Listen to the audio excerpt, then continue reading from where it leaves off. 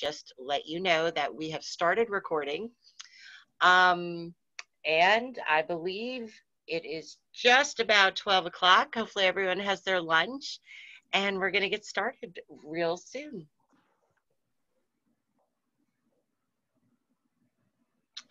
All right. Well, thank you for joining us for the aquatic species of the Dan River Basin webinar today. Um, I, my name is Tiffany Hayworth, and I am with the Dan River Basin Association.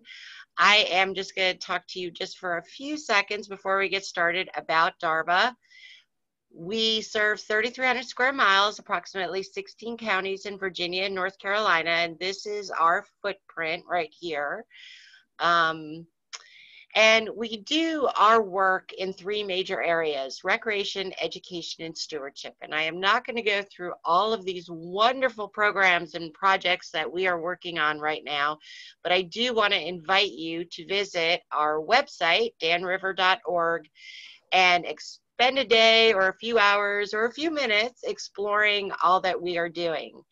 So, with that being said, I am going to welcome Kelsey Roberts. Hi, Kelsey. Um, Kelsey is originally from Michigan, where she graduated from Michigan State University with a bachelor's degree in fisheries and wildlife. She moved to Raleigh in 2011, where she attended NC State University and received a master's degree in concert, conservation biology in 2014. She has been working as a sport fish biologist with the North Carolina Wildlife wildlife resources ever since and enjoys all things outdoors. Kelsey, thank you so much for joining us. You can go ahead and start sharing your screen and I am going to stop my video. Okay, awesome.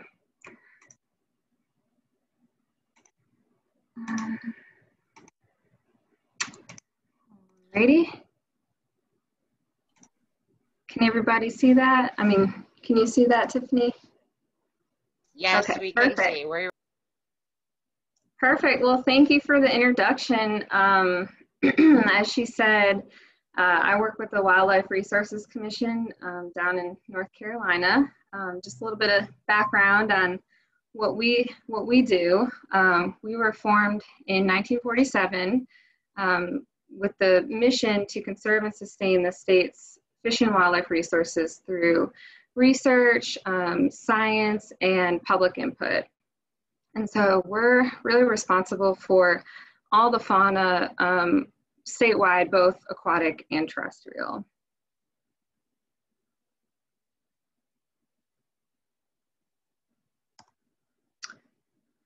So um, my background specifically is in sport fish. Um, today, I we're going to kind of break this talk into two different sections. The first is going to be non-game species that you might find in the Dan River Basin.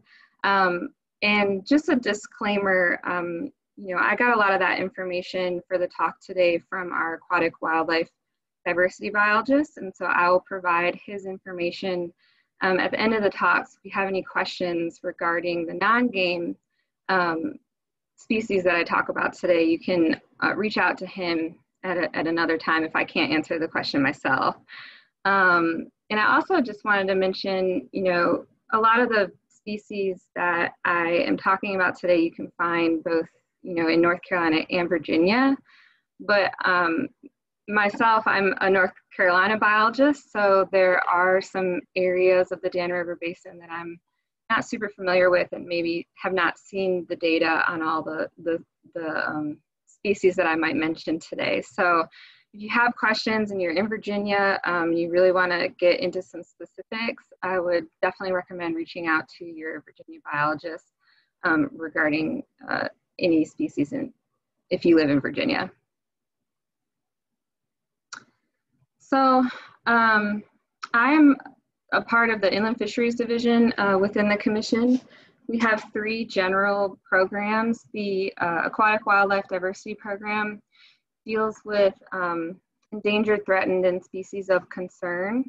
And then I'm a part of the Game Fish Management um, Program, and we deal mostly with sport fish. So basically, if it has a regulation on it, um, I'm responsible for basically the biology that goes on behind developing and, and managing those, those regulations. Um, and the third third part that I won't talk about today is production. Uh, we have hatcheries that support both um, our sport fish program and the aquatic wildlife diversity program. So they're, you know, not not just stocking um, catfish or striped bass. They also are working with the wildlife diversity program to stock some endangered species um, and, and also mussels, which might get into a little later. So our aquatic wildlife diversity program is broken into four major ecoregions and you can see here I circled um, just up here in the Roanoke River Basin is where the Dan River Basin falls. Um, and so the Aquatic Wildlife Diversity Program is responsible for going out there and finding all these endangered and threatened species and just really getting a good hold on where their populations are and where they might be able to reintroduce um, certain populations. And so, you know, how do, how do they get their hands on the fish, right? Well, electrofishing is a big part of their job. Um, up here in the right hand uh, top picture, you can see we've got a barge electrofisher going. Um, and this is a really labor intensive way to find um, smaller species in, in rivers that you can't get like a, a motorboat into. Um, and we also have backpack electrofishers um, down here on the bottom left. And um, another way that they catch both fish and crayfish are um, to use this, this seine net. So basically someone will stand upstream of this net um, and kind of kick the water around and, and see what flows into um, the net. And so that's a really good way to catch crayfish and, and small species as well. Um, and they also will do snorkeling surveys. So they'll go, there are some species that are really a lot easier to find via snorkeling because they don't move much or they like to, you know, hang out in very specific habitats. And this is also a good way to find um, to find mussels. So before I get into kind of um, what species are out there, I just wanted to go over a few terms that I'll be using um, just so you guys know what they are. Um, so a stream order, this is a way for us to measure um, the size of a stream where the first through the third order streams are your headwater, smaller, um, you know, more narrower streams. So you know, for instance, where two first order streams come together, that's going to give you a second order stream. And then where two second order streams come together, you get a third order stream and so on and so on. Um, and the, the larger the number, basically the, the wider and larger the river system is. I'll also be talking a little bit about riverine habitats. I'm sure a lot of you are familiar um, with these three different habitats especially if you're kayaking or you know bank angling. Um, but there's a million different ways to categorize habitats, and these are just sort of the three main ways. Um, so you've got a riffle, run, and a pool. And as you go down from a riffle to a pool, um, the current gets a lot slower, the um, substrate gets a lot smaller, and um, the river system gets deeper. And so, based on you know where fish have different adaptations to be able to live in, in each of these different um, habitats. You know, for instance, a riffle is so fast, such fast moving water that a lot of times you have to have special adaptations to be able to kind of hunker down in that in that fast current and, and be able to stay within the rocks. Whereas a pool is so slow moving that it's oftentimes um, an area for fish to go to rest, but it's also where um, predators hang out. So you kind of have to risk um, getting some rest versus maybe getting eat, eaten in the pools. Um, okay, so the first kind of group that I wanted to talk about today is crayfish. Um, and, and I just want to just have a disclaimer that by no means is what the species that I'll talk about today an exhaustive list of what's available and, and present in each of these river systems. Um, these, these three crayfish are just some of the most common ones. Um, so crayfish are really unique and they um, you know, play a special role in the ecosystem they one cool fact about crayfish is that they um, the females will carry their eggs um, on their abdomen, and even after they hatch, they'll still carry their larvae for a period of time until they're ready to swim away.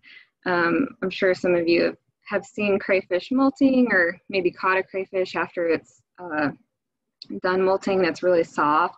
And so they have this um, unique way of, of growing in, in where they have to shed their, their exoskeleton um, every so often, especially you know more often during the earlier years in order to be able to grow. And so they have periods of time where they're really vulnerable to predation. Um, so the three common ones in um, the River Basin are the Carolina ladle crayfish.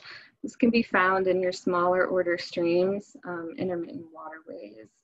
They usually like to be um, in rocks. Some of them burrow. Um, so if you, you know, pick up rocks, sometimes you'll see them swim away. Um, the Atlantic slope crayfish, these can be found in mid-order streams, primarily in gravel riffles. So like I said, if you find some rocks and you kind of kick them around, you might might get to see a crayfish. Um, and they also they come out at night. So they're really you know easier to see maybe with like a flashlight at night, just kind of roaming around. Um, and this last species is the Dan River Cambarus species C. And this is currently an undescribed species. So we're in the process of um, describing this as a new species. And this can be found in second order streams to large rivers. Our second um, group is the darters. These are um, fish that are very small. They can fit in the palm of your hand.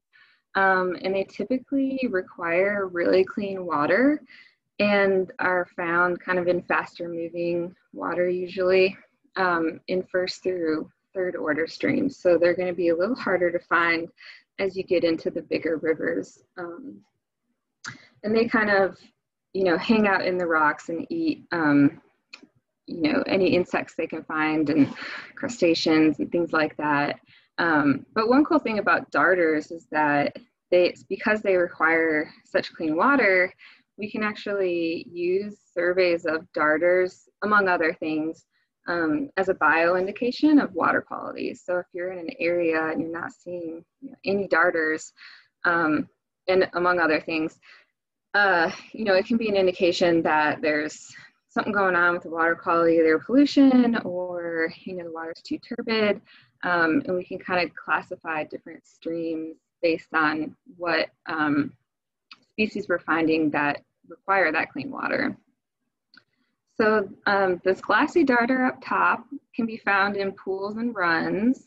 The chainback darter can be found mostly in runs. And then these three, um, the last three can be found in riffles.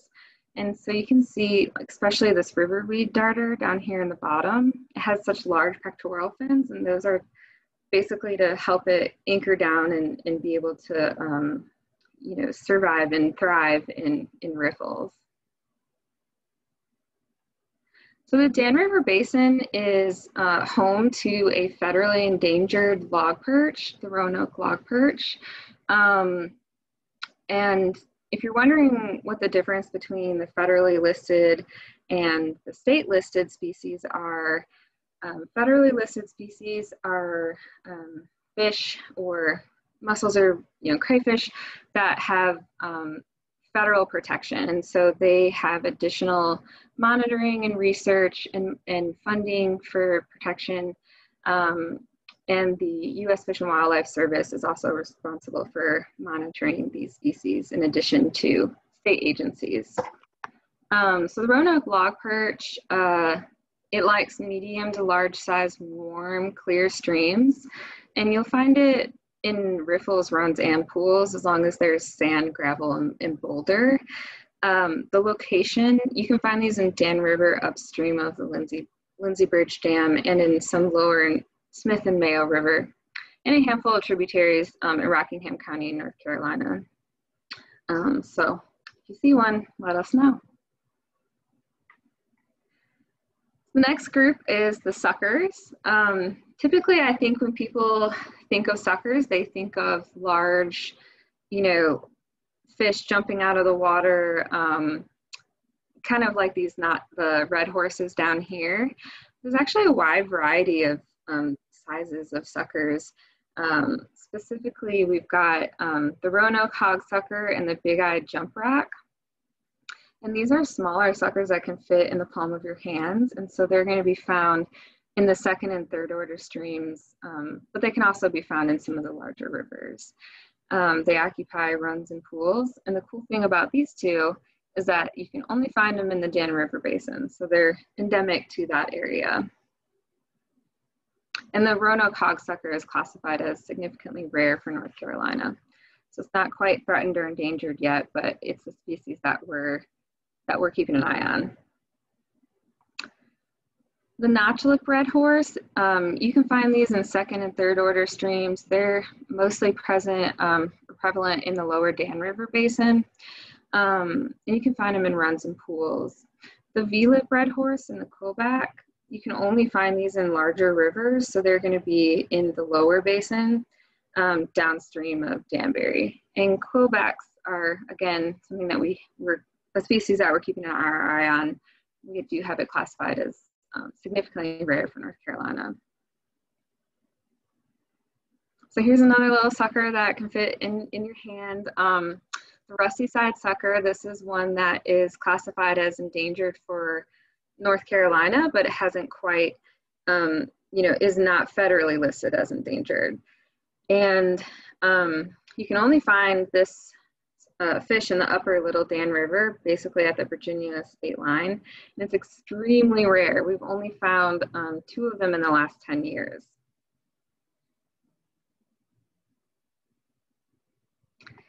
Our next group of fish is, are the shiners.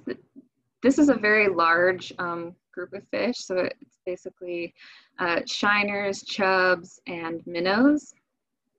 Um, and these are going to be found in your uh, runs and pools, not so much the riffles. Um, and they can be found basically anywhere. So second and third order streams all the way up into larger rivers, as long as you have you know, the right habitat. Um, the red lip shiner is very common. Uh, it's used oftentimes as bait. Here's a picture of it here, done here on the left, um, swimming with the crescent shiners. Um, the bluehead chub, something interesting about that fish is that um, it's also called, some people call it a horny head chub. I don't know if you can see um, on this picture, but when they're mating or during spawning season, they'll grow these uh, horns on their heads and they'll turn this bright blue color. And so they're really a beautiful fish, um, especially during spawning time. So more shiners. Um, up here we have the white shiner. This is probably one of the most common shiners that you might find. And again, um, people oftentimes use it for bait. Um, in most of these, like I said, you're going to find in first through third order streams into larger rivers. Uh, the cutlip minnow down here, this is a species of concern for us in North Carolina. Um, and this is something that we can only find in the Dan River Basin. So there's a lot of fish that are endemic to the Dan River Basin, which makes it such a unique system. Um, here is the Blue Ridge sculpin. Um, this is another species that's of concern, and it has these huge pectoral fins um, that allow it to kind of hunker down and, and live in riffles. And this, this is another species that if, if you don't have clean water, um, it's going to be really difficult to find. It's very sensitive to changes in the environment. Um, and you can only find them in the upper Dan River upstream of Danbury. So the freshwater drum, this is another species of special concern. Um, this, this I caught electrofishing when we were looking for striped bass one year on the Dan River near Milton. Um, and it's actually not uh, native to this side of the state in North Carolina. Um, it's native to the Mississippi River Basin. And one thing I just wanted to you know, briefly touch on is the difference between, um, you know, non-native versus invasive. I feel like we use those terms a lot. Um, in a non-native fish, um, in terms of management, is a fish that has been introduced but doesn't really affect the native fish. So they're not really out competing. They might, you know, they're not eating all the native fish. They're not having all these negative effects and they're not really, um, you know, overpopulating whatever system they get into. Compared to a invasive species, um, when they get into a system, they completely invade, they take over, and you start to see declines in some of your native species. And so the, those are species that we would, um, you know, classify as invasive and, and harmful um, to native species. So the, this freshwater drum, it's not considered to be invasive, but it, it is not native. Um, and you can find them in large rivers uh, or sandy lakes, um, mostly in the lower river basin. Um, and one cool thing about uh, freshwater drum is that they get their name by contracting their swim bladders making this like loud um, deep drumming noise and so if you ever catch one um, you might get to hear it kind of talk to you and that's that drumming noise is where they get their name so lastly i just wanted to touch on um, mussels um, mussels are really, really an important part of the ecosystem. They are filter feeders, so they're constantly removing um, particles and nutrients and things from the water column. And so they, um, you know, they're responsible sometimes for that clean, pristine water that you might see um, in some of the upper order streams.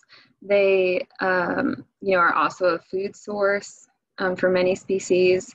And one interesting fact about mussels is that they have a parasitic life cycle. So when they have their larvae, their larvae need a very specific species of fish usually.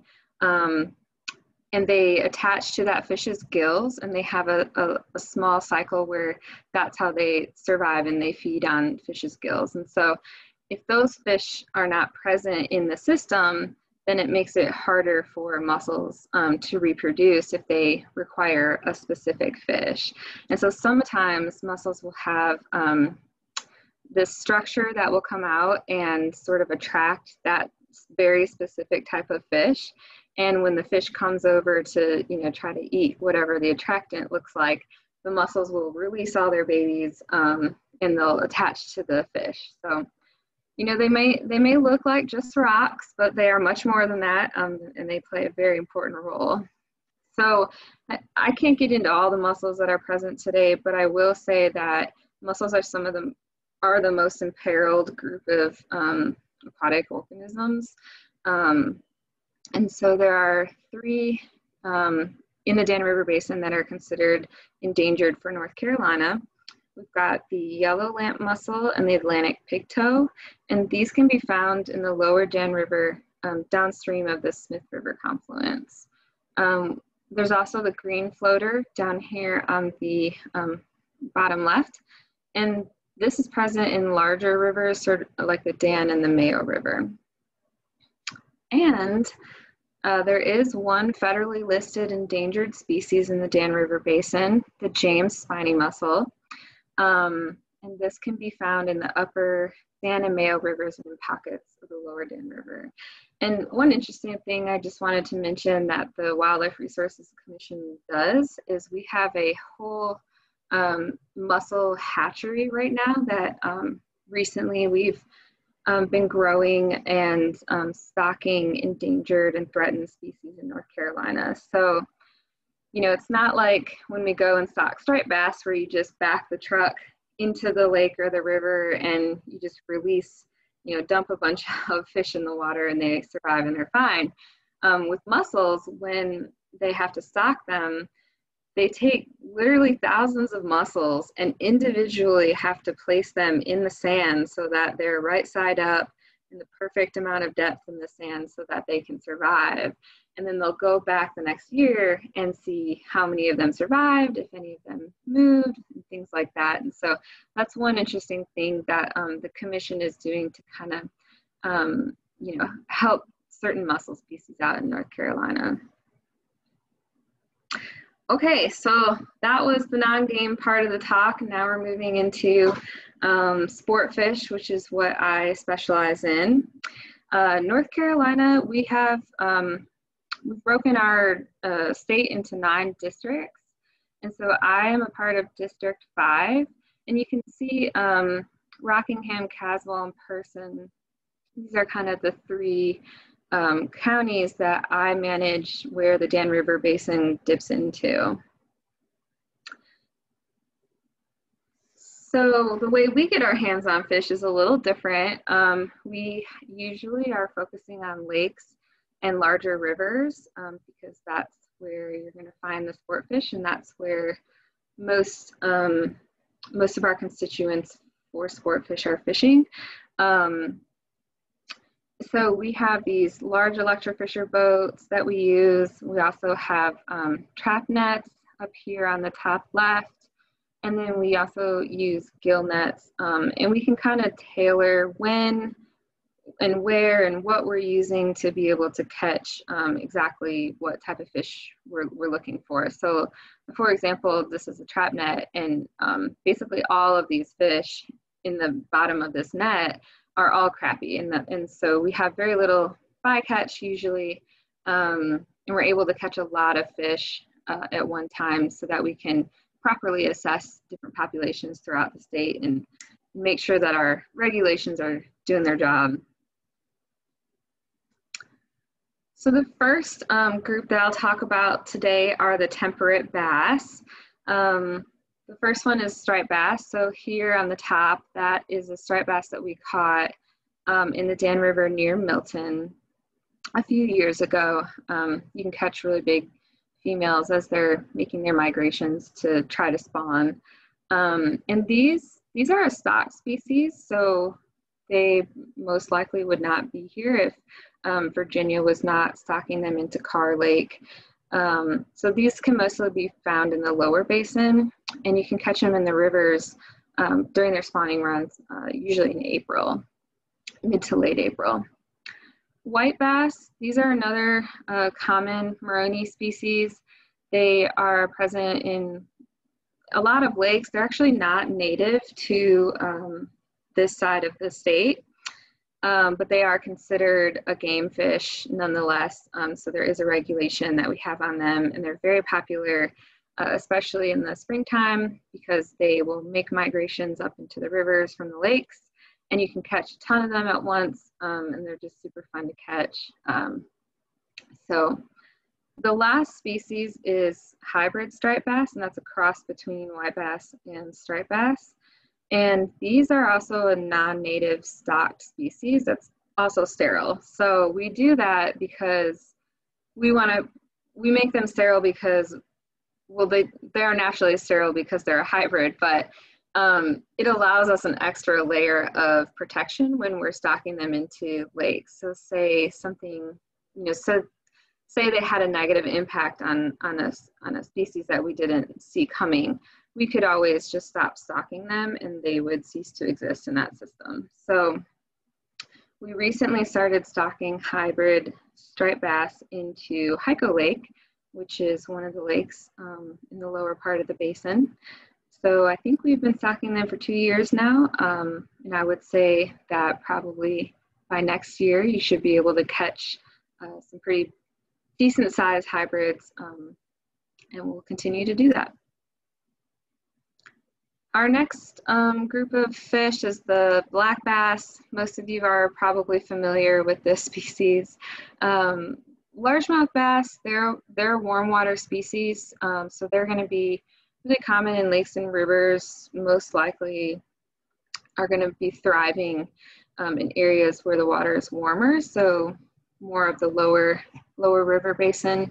Um, and they're fun to catch because you know obviously they get really big, but they have uh, different seasonal movement and feeding patterns that um, you know anglers will. It's all you know, kind of a guessing game when you go out there to to see you know where and how you're going to catch these these fish because it just differs every time you go out to the lake. Um, then there's smallmouth bass. So these are kind of opposite, they're cool water species. They like clear water, um, cool water, lakes and rivers. So you're mostly going to find thriving populations uh, that'll be more common in the upper river basin. Our next um, group of fish are the catfish. These are some of my favorite fish because um, I just think they're really cool and unique and they also uh, have the ability to talk to you kind of like the drum does except for um, they actually rub their pectoral uh, spine against their pectoral girdle or girdle to to make sort of like a chirping noise. So i don't know if any of you have ever heard that if you've caught a catfish but one of one of the reasons they're one of my favorite groups of fish. Um, so the channel catfish this is uh, another that's not native but is managed um, by our uh, by the commission, and um, and it's actually stocked by the commission in some of our community fishing programs because they just they can survive in any kind of condition, especially the hot summers down here in the Piedmont. Um, but they live in a wide variety of habitats, uh, rivers, ponds, and streams. You can pretty much find these guys everywhere. Um, the white catfish is one of our uh, only native catfish. Uh, and again, it lives in a wide variety of habitats. And then you have bullhead catfish, and I didn't list them all here, um, just some common ones. And these are also native, and um, the way you can tell the difference between a white catfish and a bullhead is that the white catfish will have a forked tail and the, the bullheads will have more of a flat, um, they won't have any fork in their tail. It might be like a slight indent, but it certainly won't be fork. So that's one way to tell them apart. So the next group of catfish, um, I think a lot of people, or at least, you know, myself included, picture catfish as being these larger fish, but there's actually a subgroup that is really small and can fit in the palm of your hand, um, the madtoms. Uh, so the orange-fin madtom is considered endangered for um, in North Carolina. It occupies really uh, fast riffles and it uh, requires clean water. And you can find these in the upper Dan River upstream of Danbury. Uh, and it's only found in the Dan River in North Carolina. So this is a special species if you do find one, um, one thing that madtoms uh, have, in, have in common is that they, uh, they can sting you with their pectoral spine. So if you catch one, you have to be really careful. Um, the first time I ever handled one, I did not know this, and I got stung a bunch of times on my hands. Um, so I learned really quickly that these little guys pack a big punch. Um, they may be small, but they're they're mighty. So the margin mad this is one of the most common ones. If you're trying to find a mad um, this is probably what you're gonna find. Um, they're in riffles and runs, and again, they require clean, clean water. Um, and you can find them everywhere from first order, tiny trickle streams, uh, to bigger rivers. They're the most common catfish in, in the Dan River Basin. All right, so now we've got um, trout. And I just wanted to mention that, um, you know, in my district, I don't deal with trout populations. Um, those are more toward the Western Carolina. So I'm also not super familiar with um, the trout populations in Virginia, but I, I just wanted to briefly mention them because, you know, they are such cool fish and, and they do occur um, in the upper basins of, of the Dan River. Um, these these pictures here are from some of my personal trips out west, um, the Western Carolina mountains to, to catch trout. Um, so brook trout are the only native species of trout and they are actually um, a char. So they're not a true trout. And the difference between trout and um, char is that the um, char have light spots, whereas the um, trout have darker spots. So that's one way you can tell the um, char from the, from the trout. So brook trout, these require really clean, um, well oxygenated water. And so you're really only gonna find these in the, the headwater streams, like up in the mountains. Um, as you go lower down in the river basin, um, they just are less and less common. They require silt-free gravel in order to spawn, and they really like a lot of in-stream cover, such as logs and boulders. Um, so like I said, you can find these in the upper Dan River Basin. Rainbow trout um, and brook, or brown trout are both a stocked species. Um, we stock them here in uh, North Carolina as well as in Virginia. Um, and they can handle a lot um, poor water quality. Uh, we actually will stock rainbow trout in Piedmont um, ponds because they just make a really excellent, um, you know, fish for people who aren't able to make it out to the mountains. They can survive in these these ponds um, throughout the winter um, before summer hits, and, and usually kids, you know, love to catch them, and they're just a really great fish. Um, but they can they can grow uh, quite large, uh, especially if they are stocked into um, lakes.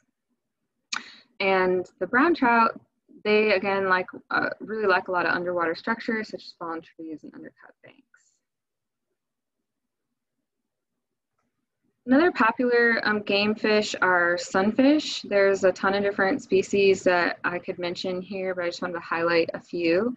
So um, black crappie and white crappie are you know, some of the more common um, species to fish for in, in lakes, but also certain times of the year um, in rivers, they can be found kind of chasing shad, um, and you can catch them really good in rivers. One cool thing about uh, sunfish is that they hybridize a lot with each other. So um, black crappie and white crappie will hybridize, um, pumpkin seed and bluegill will hybridize. And so if you catch a fish and you're not really quite sure what it is, um, it, it, could it could be a hybrid for sure. Um, and, and these fish are really uh, warm water species like bass, um, and they can be found, you know, basically everywhere. So here's one cool fish that um, is endemic to uh, the Roanoke River Basin. Um, you can find them in the Mayo and Smith Rivers in the Dan River Basin. And they are classified as a significantly rare um, species, and they're, they're a type of rock bass. Um, and if you're interested in fishing for them, usually if you can find um, a riffle or a run and there's large boulders, they love sitting just behind those large boulders or just in like a pool downstream of where the fast current is, is coming off. Um, and so this is, this is another neat species that um, it can't, it can be found in a few other um, rivers in North Carolina, but um, this is one of the rivers, one of the river basins that it's endemic to. All right, so there are probably more fish that I could talk about today, um, but I, I just wanted to briefly, or maybe not so briefly, get into uh, invasive species. This is, um, invasive species are, is something that is, you know, very prevalent today in fisheries management. Um, it's something that once they're introduced, they have the ability to just completely alter ecosystems um, and so it's really hard for us to manage for invasive species once they get into a river system. And so we're trying to educate people on, you know, stopping the spread of invasive species before they get into different river systems. So two of the ones that are very common in this area are the flathead catfish, um, which is up here on the top uh, right. And these inhabit deep slow stretches. So they really, really like deep pools and rivers, and they hide under logs and brush, um, rip, riprap, or underwater piles of debris. Um, they're very voracious predators. They eat a lot of fish. Uh, blue catfish, these um, prefer faster currents, so they kind of occupy slightly different niches in rivers, um, but they can also both uh, occupy lakes. And you know, some people might think, well, these are, look how big these are. These would be so much fun to catch. Um, a lot of people love them, and we totally understand that. Um, they are a very large fish, and I'm sure they would be really fun to catch. Um, but the problem is, is they go from being this you know, maybe the size of your hand to being able to eat your entire arm. Um, and they, you know, it takes a lot of fish to feed um, to feed this mouth here, right? Um, and so one of the things that they do is they, especially these two crayfish or cray, these two sport fish, they um, or invasive fish, sorry, they prey on native um, catfish. So whenever they get into a river system, they essentially wipe out all the native catfish. So you won't see bullheads or white catfish anymore. Um, and especially on the coast, when they're in coastal river systems, they feed heavily on um, anadromous fish such as um, you know, American shad, hickory shad, um, your blueback herring, alewives, and so they really have this ability to kind of decimate decimate um, native populations. Another invasive species that we're dealing with right now is spotted bass um, or Alabama bass.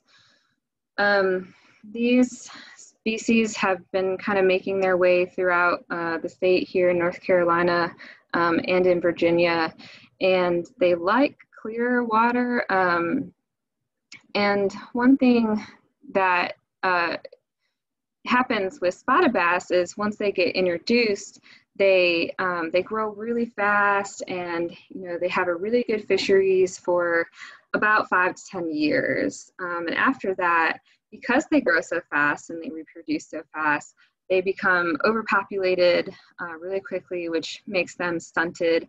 And you just get this sort of mediocre um, population in the end. Doesn't doesn't usually stay awesome for that long. Um, and one thing that spotted bass do is, you know, usually once they're introduced, we see a decline in um, native uh, largemouth bass species. And they also have a tendency to hybridize with smallmouth bass because their, their you know, habitats overlap more frequently than with largemouth bass. Um, and so they have this tendency to affect reproduction and the genetics of smallmouth um, in many systems. So in general, we, we like to discourage um, moving any of these species, especially if you're, even if you're just trying to take it back to your own private pond, um, you know, that's how a lot of species get introduced because ponds flood and, and usually you have, you know, some type of outflowing stream where fish can make their way into the next lake or, or river system. Um, so we would just, you know, like to encourage people to not spread these species um, around. So I just wanted to mention tilapia because um, they are technically classified as invasive, um, but due to their cold water, they don't have a cold water tolerance. They um, tend to stick where the water is warmer so they don't spread um, outside of uh, where they've been introduced. So um, you can find these in Hyco Lake down, I have it circled here on the Dan River Basin map. And these were accidentally introduced um, a while ago, but because this is a thermal heated power plant um, effluent lake, um, they can survive in the lake, um, but they probably wouldn't be able to survive elsewhere. But nonetheless, they're still, um, you know, detrimental to the, the populations that are in Hyco Lake. They basically ate um, all the vegetation in Hyco within a few years of being introduced.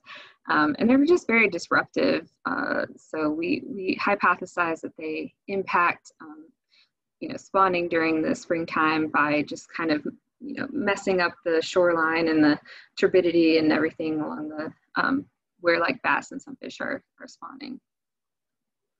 But if you wanted to fish for them, um, they are in the Dan River Basin and you can find them in Hyco. So the last one I wanted to talk about is hydrilla. Um, these are present in some of the lakes um, in the Dan River Basin. Uh, and, you know, this is a picture of the Eno River in North Carolina. And you can see that once they get into a system, they just, it, it or they, the plants, they just completely take over. And so, you know, if you're trying to paddle this river, all of a sudden it becomes very difficult. It makes them essentially non-navigable. Um, and then, you know, the, un- the other consequences is that it chokes out native vegetation. It completely alters, you know, what types of fish can live there. Um, alters the nutrients that are, you know, in the water column. Sometimes it can alter flow regimes. Um, so it's just generally a really terrible plant. It's federally listed as a noxious plant.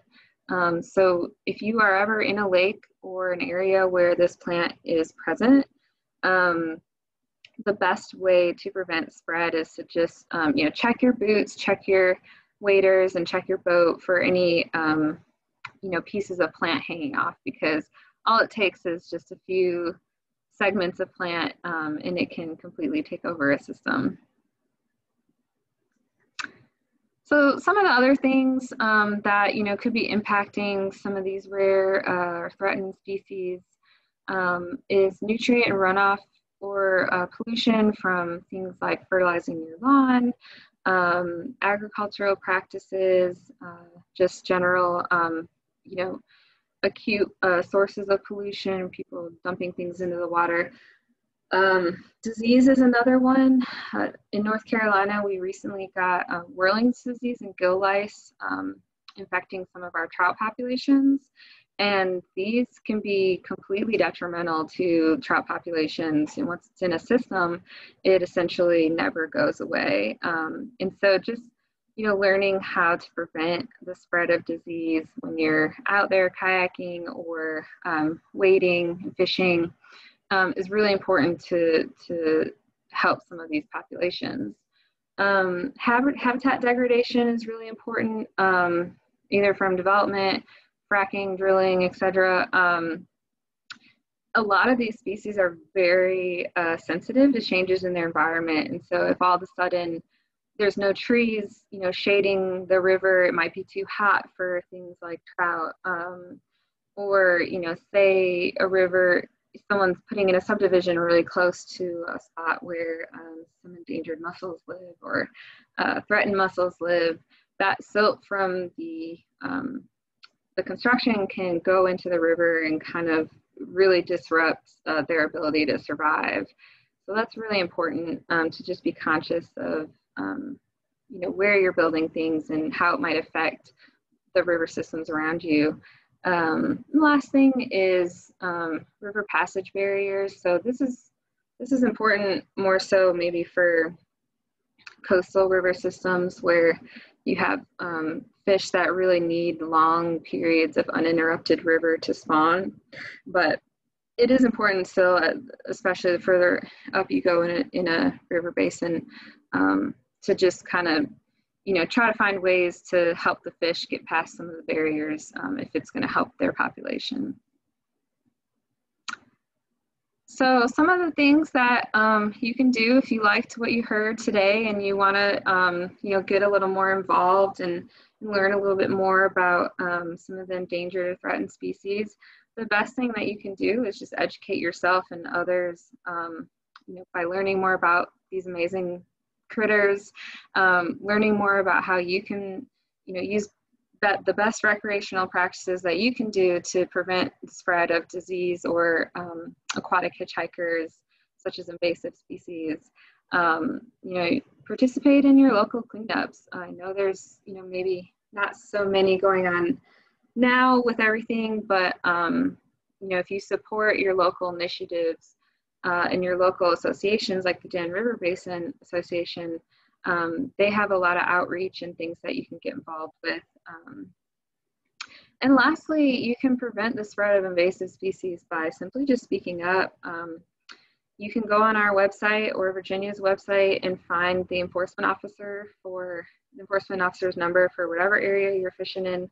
And if you see something that is illegal or um, you know that someone's maybe transporting fish or doing something illegal, you can just give them a call. That's what they're there for. We are a public resource, and um, you know we can't be everywhere at once. So if you know you have our number, then um, you can definitely give us a call anytime.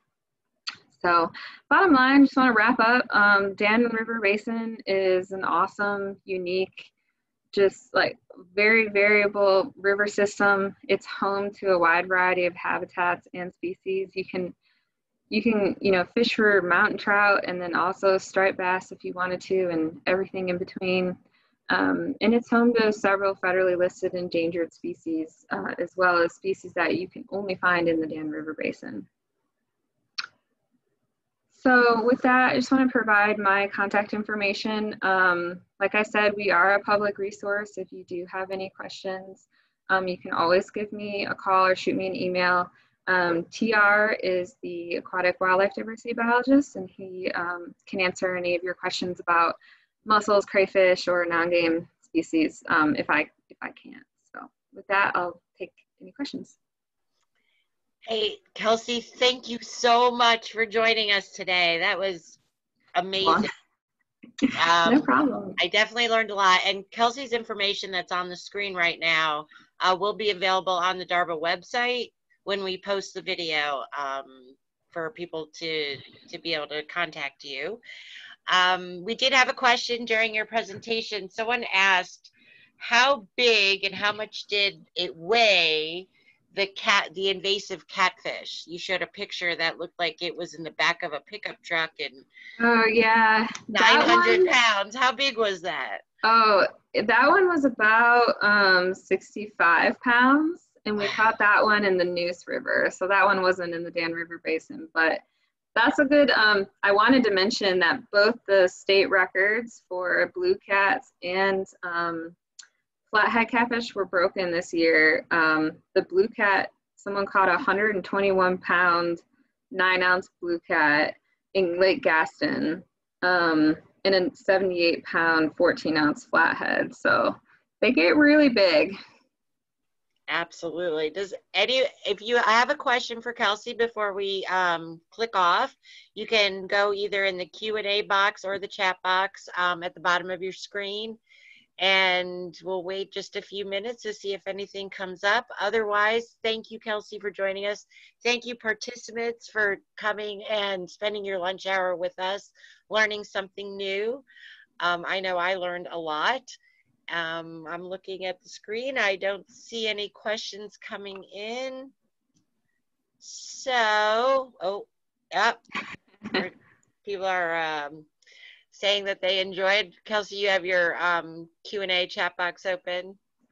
So you can uh, see what, um, well, thank you, everyone. And I see, yep. Um, have a great day and we'll talk to you. We have another webinar coming up the last Wednesday of September. It is going to be very cool learning how to do um, nature photography.